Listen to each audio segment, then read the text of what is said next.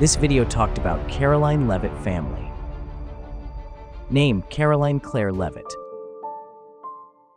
Leavitt is an American political aide currently serving as the National Press Secretary for Donald Trump's 2024 presidential campaign.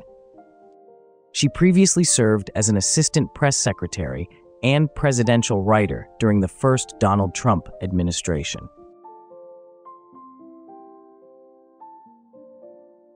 She was born on August 24, 1997.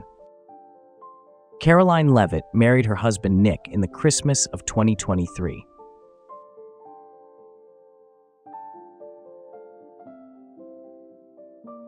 Leavitt's husband works as a business owner. Karoline gave birth to her son in July 2024 and resumed professional duties shortly after giving birth.